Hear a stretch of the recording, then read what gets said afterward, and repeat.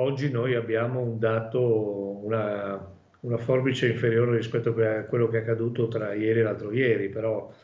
sa, su queste valutazioni io sono molto prudente, non, non ho mai voluto fare eh, considerazioni sulla curva, vediamo che la curva aumenta e, e, oggi dire quale sarà il momento del picco è estremamente azzardato. Noi stiamo seguendo con questi numeri le cose di giorno in giorno, di ora in ora e stiamo cercando di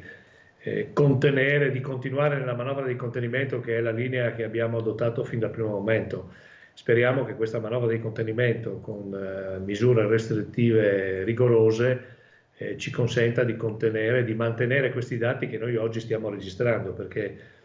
in termini di contagio del virus, in termini di letalità, eh, in termini di, eh, com complessivi dei dati che si presentano, eh, è sotto gli occhi di tutti che noi stiamo ancora contenendo questo fenomeno,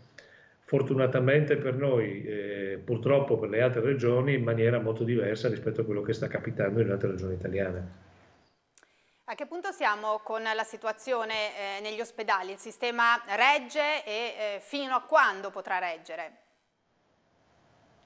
Ma noi abbiamo costruito un piano che sostanzialmente ha, ha, ha stravolto l'impostazione che era stata costruita all'inizio, perché è evidente che all'inizio si prevedeva la costruzione di un sistema che prevedesse il 50% dell'aumento delle terapie intensive, e questo è stato stravolto in tutte le regioni, quindi noi partivamo da 29 terapie intensive, oggi siamo a eh, 78 e prevediamo di raggiungere il centinaio delle terapie intensive nel corso della prossima settimana. La copertura è a 57 e ricordo che ci sono eh, alcuni pazienti che sono arrivati dalla Lombardia perché il CROSS, che è il sistema che sta governando eh, la copertura nazionale, ci ha eh, chiesto di poter ospitare dei pazienti che altrimenti non avrebbero trovato dei letti di terapia intensiva. Quindi eh, secondo me il sistema eh, sta reggendo, nostre, i nostri reparti ospitano 222 persone, abbiamo una capacità di proiezione sulla terapia intensiva eh, significativa nell'ordine di una ventina di persone in questo momento, abbiamo un'ulteriore capacità, eh, è chiaro che poi tutto dipenderà dalla dotazione degli strumenti che la gestione commissariale nazionale ci metterà a disposizione. Noi abbiamo, stiamo attrezzando i nostri ospedali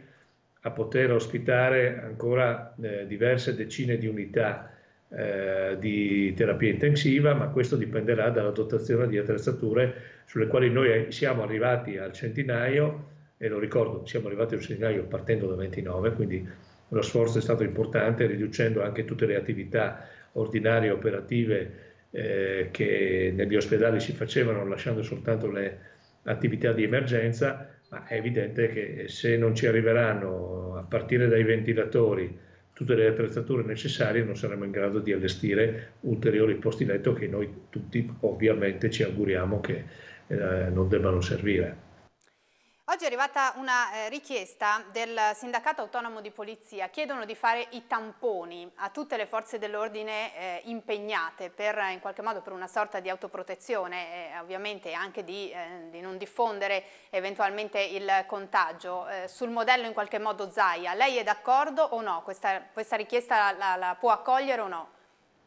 Ma guardi, non è che io devo accogliere o posso essere d'accordo, io mi attesto a quelli che sono i dispositivi del Ministero della Sanità che ieri sera è intervenuto in maniera precisa, sostanzialmente dicendo facciamo i tamponi alle persone esposte e in particolare esposte al, a quello che è il sistema sanitario, perché quello è, uno, è il principale tema che dobbiamo proteggere. Dobbiamo proteggere ovviamente anche tutti gli operatori delle forze di polizia,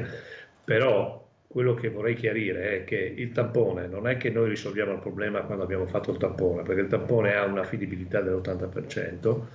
può dimostrare che tu non hai il virus o ce l'hai, ma il virus tu lo puoi avere anche, lo, lo, lo puoi contrarre anche dopo aver fatto il tampone. Tanto è vero che la procedura, il protocollo eh, prevede che nel momento in cui tu hai una fascia di, di, di, di persone, di figure che devono essere particolarmente protetta, e mi riferisco al personale sanitario, è chiaro che va organizzato non un tampone, va organizzato un tampone ad un periodo, ogni periodo prestabilito di alcune decine di ore nelle quali il tampone deve essere ripetuto, altrimenti un sistema di prevenzione e di contenimento tu non lo, non lo metti in moto. E tutto questo deve essere compatibile anche con gli strumenti e la capacità di restituzione dei test che ovviamente vive una condizione straordinaria che noi abbiamo sicuramente implementato ma deve essere compatibile con questo tipo di operazione. Poi è evidente che io sono d'accordo di riuscire a proteggere tutti, però la capacità di protezione di tutti deve essere scalata in ordine alle condizioni di esposizione eh, che, le persone, che, le persone, hanno. Quindi eh, sicuramente le forze di polizia fanno un ragionamento pienamente condivisibile, questo però deve essere calato nella costruzione della sostenibilità di questo tipo di ipotesi che loro fanno, che non risponde, come viene detto in più di qualche circostanza, in un tampone e basta, perché un tampone basta non ci risolve le cose. Noi dobbiamo essere in grado di fare il tampone e di ripeterlo, perché altrimenti un tampone da solo non risolve il problema e non protegge nessuno. C'è un ultimo messaggio che vuole dare ai cittadini del Friuli Venezia Giulia? Ma voglio dare un messaggio di speranza. Il messaggio che voglio dare è che ci sono tante persone che lavorano per la salute delle, eh, delle persone. Eh, purtroppo anche, ci sono anche molte persone che strumentalizzano e raccontano delle falsità. Purtroppo la rete oggi